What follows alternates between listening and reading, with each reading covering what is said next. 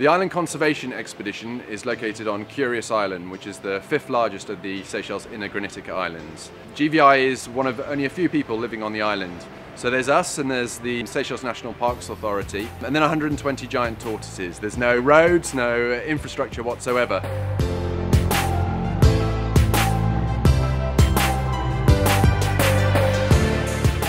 Arriving on Curieuse, you're going to see so much in one go. So we have sea turtle monitoring, we monitor the nesting population here of hawksbills and greens, we monitor the population of sicklefin lemon sharks. So we're going to be putting acoustic transmitters into some juvenile sharks and tracking their movements from a boat using a hydrophone receiver.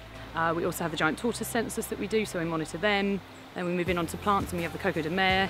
We also have mangroves and we look at the species ID through all the transects and we do beach profiling just to see how the slope changes over time. And the long-term goal, if we carry on collecting all this data and showing how many important species we've got here and that they need a high level of protection, we hope to move from a marine protected area up to a biosphere reserve, which will be amazing for this island.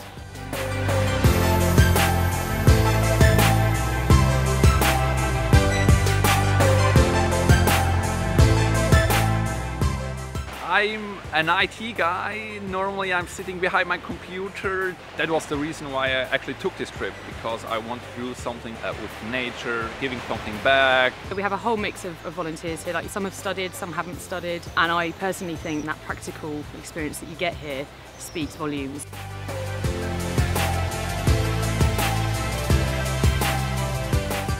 I studied environmental science, so this has been amazing for me because it's really given me a hands-on approach. All kind of job opportunities ask for some form of experience in the field.